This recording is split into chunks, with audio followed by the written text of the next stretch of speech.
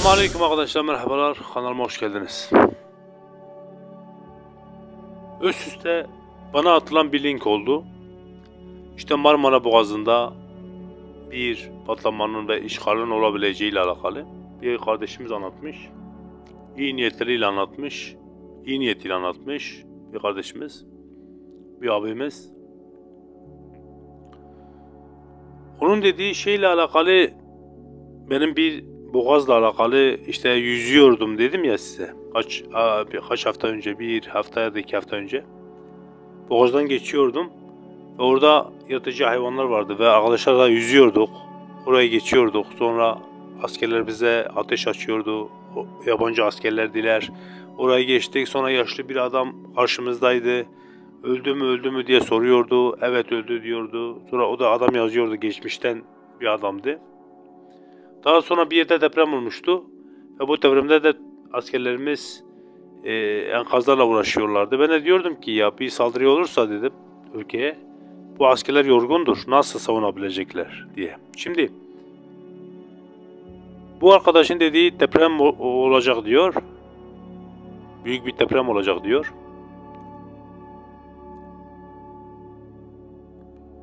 Ve işgal diyor. Hemen hemen e, birçok hafta önceki videoma bakarsanız öyle bir videomu zaten hatırlıyorsunuz arkadaşlar. Öyle bir video çekmiştim. Yalnız bana iki gün işte bu arkadaş diyor ki iki gün içinde olacak diyor. Öyle bir haber var diyor. Ama bana günle alakalı bir bilgi verilmemişti. Olabilir. Hani olmayabilir de kesin bir şey diyemem. İşte diyor İstanbul, Tekirdağ tarafları dikkat etmelidir. Marmara, işte Boğaz. Ben Boğaz'la alakalı bir video gördüm zaten. Ee, ben videoyu da e, kanaldan topluluk bölümünden bakabilirsiniz arkadaşlar. Onu paylaşacağım. Topluluk bölümünden bakın. Ya da açıklama bölümüne bırakacağım. Hani gerçi İzleyenler izlediler yani. Ben onlara bir şey diyeyim ben şey yapacağım arkadaşlar sabitleyeceğim yorumlarda. Bu videonun yorum bölümünde videoyu sabitleyeceğim yani o bu video bitirdikten sonra benim yorumuma bakacaksınız ve o e, baktığınız e, yani linke basıp o videoyu izleyeceksiniz Allah'ın izniyle. Öyle daha kolay olacak en azından. Bulma, bulmanız daha kolaylaşacak. Mehdi, Mehdi Aleyhisselam zamanındayız arkadaşlar. Yani Mehdi Aleyhisselam zamanında enteresan olaylar olacak. Yani bu basittir. Yalnız bu arkadaşın dediği bir şey var işte diyor ki gökyüzünde işte diyor galakside diyor bir öz var diyor. Bu da dünyadan insanların bir özüdür ve oradan bir saldırı yapılacak. Bu pek bana inandırıcı değil yani. Bunu söyleyeyim de. Bu ayrı bir şey. Şöyle bir olay vardır. Gökyüzünden gelen felaketleri insanlara bağlamak çok büyük bir hezeyandır yani. Bana göre çok büyük bir sıkıntıdır. Gökyüzüne gelen hortumları yapay yağmura bağlamak, ee, işte bu dolu yağışı oluyor. İşte Mersin'de gördünüz. Tır kamyonunu deviren hortumlar oluyor. Büyük büyük depremler oluyor. 8 saat aralıklı. Türkiye'de binlerce deprem oluyor. Dünyada birçok yerde deprem oldu. Göktaşları düşüyor. Ben o konuda ona katılmıyorum. Gökyüzünde işte bir e, enteresan işte bir hava österi varmış gökyüzünde derken yani derinliğinde yani. O işte metafizik bir bilgi istihbarat diyor ama ben o istihbarat yalan bir istihbarat olduğunu düşünüyorum. Çünkü İnsanoğlu o kadar kudretli değildir. Yani Allah kendi topraklarını, kendi dünyasını koruyabilecek gücü vardır. Eğer ki Allahu Teala bir şeyi ol derse olu verir. Bizim imanımız budur. Eğer ki bir topluluğu helak edecekse o topluluğu hiç kimse kurtaramaz. Dua etseniz de kurtaramazsınız. Eğer Allahu Teala bir topluluğa da ferahlık verecekse feriç verecekse tüm insanlık onlara nalet okusa bile onların sırtıyla gelmez. Şimdi açıkçası Allah'ın takdiridir. Allah dilerse hepimizi bir saniyenin altında öldürür, yok eder eğer hak edersek. Toplumda zalimlik oluyor. Toplumda fakirler görülmüyor. Herkes bir menfaat peşinde. Herkes kendi kafasına göre bir şey tutturmuş. Tabii ki adalet, ee, hani gelir eşitliği, insanların kirasını ödeyememesi veya zina olaylarının çoğalması ya da daha farklı farklı durumların olması.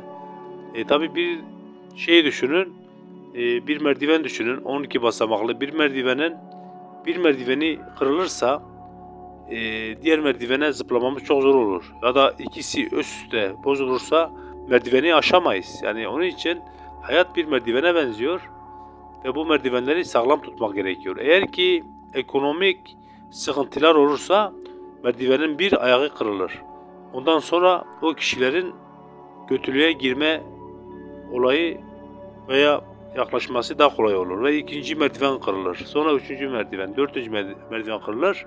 Bu merdivenlerin tamamı ya da tamamına yakın yıkıldıktan sonra Allahu Teala gazap etmeye başlar. Öncelikle bunun içinden zengini, fakiri herkes gider. Yani çünkü Allah'ın bir yasası vardı Kur'an-ı Kerim'de.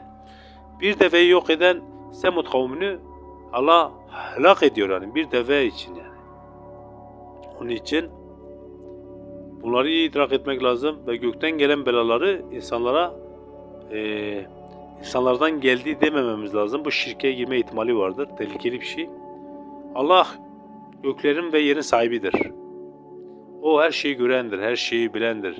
İnnallahu semi'ul e, alim. Allah her şeyi duyan ve alimdir. Her şeye gücü yetendir. Şimdi biz bu şekilde Allah'ımızı biliyoruz ve 99 esma Allah'ın isimleri. Bunları iyi bir şekilde anlarsak, idrak edersek aslında Allah'ın gücünü ve muazzam e, ordularını, muazzam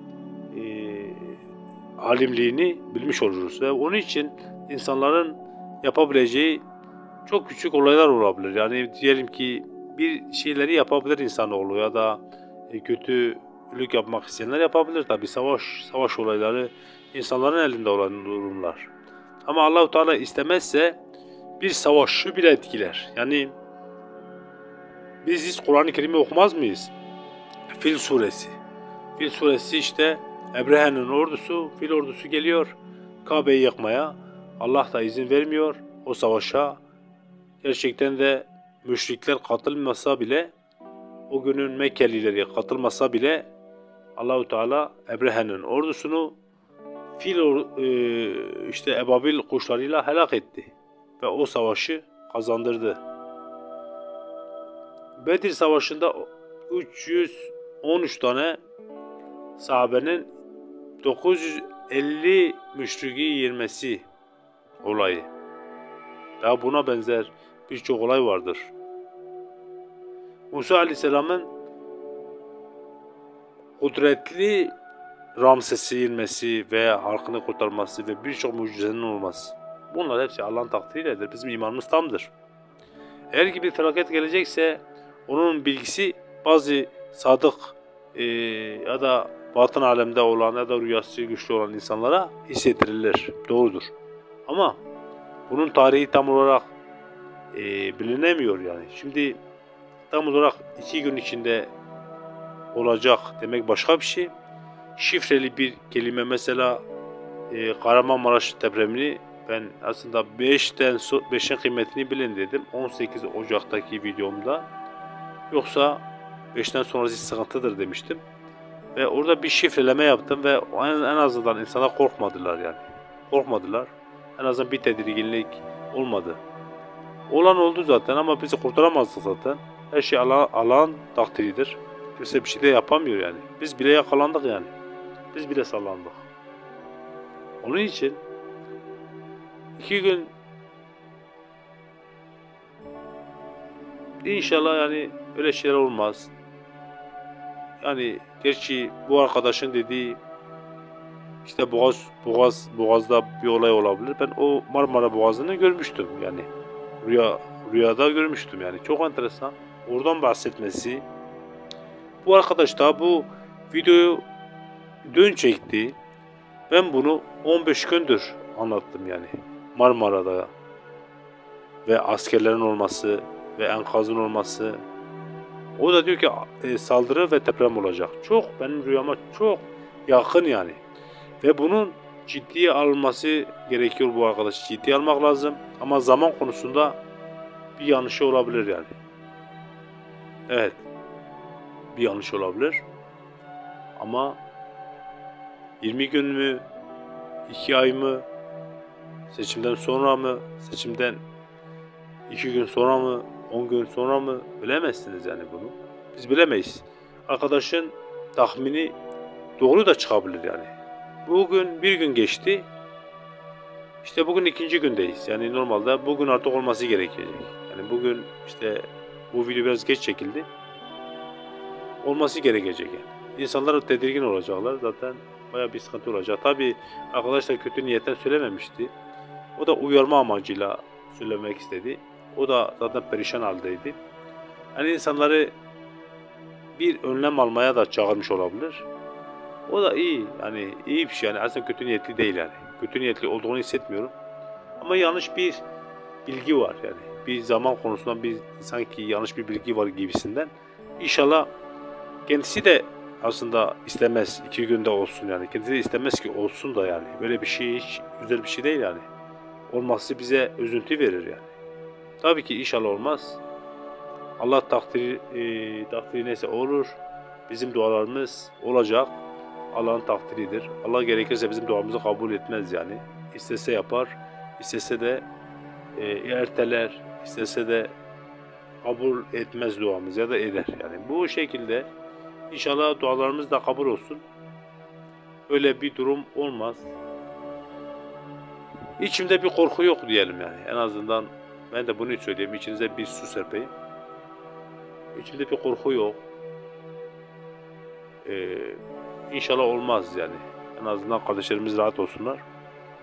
Olacaksa da kaçışımız yok. Yani kısacası bir felaketin gelmesi biz ne kadar da kendimizi sakınırsak sakınalım bizi bulur. Yani ne kadar da önlem alırsak alalım bizi bulur.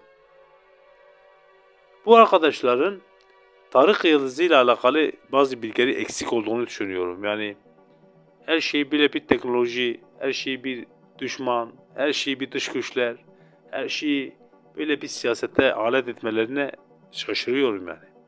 Olmamalıdır bu. Göz göre göre hortum anamızı ağlatıyor. Şimşek başımıza vuruyor. Deprem 8 saatte bizi zıplatıyor.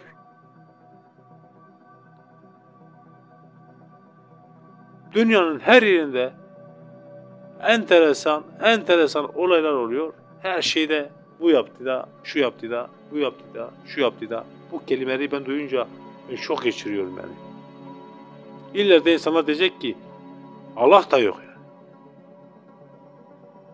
Ya Allah'ın gücünü görmemek için insanoğlunun artık buna, bunamış olması gerekiyor. İlla ki yani bu teknolojiyi kullanan insanlar sanki bütün felaketleri insanoğlu yapıyor yani. Bu büyük bir sıkıntı. Tamam bazı e, şartlarda insanların da yapabileceği bir durumlar vardır. Harp teknolojisiymiş. Öyle bir güç de yoktur. O kadar yüksek bir gücü yoktur. Bilim adamları bunu açıklıyorlar. Kimisine bunu balandıra balandıra böyle millete bir korku, bu korku vermeye çalışıyorlar. Aslında bu bir psikoloji savaştır arkadaşlar. Psikoloji savaş. Eğer bir savaşta senin psikolojini bozmak isterlerse bu şekilde bozarlar. Eski zamanlarda Türkler çok güzel savaşırlardı. Bir de bu Moğollar.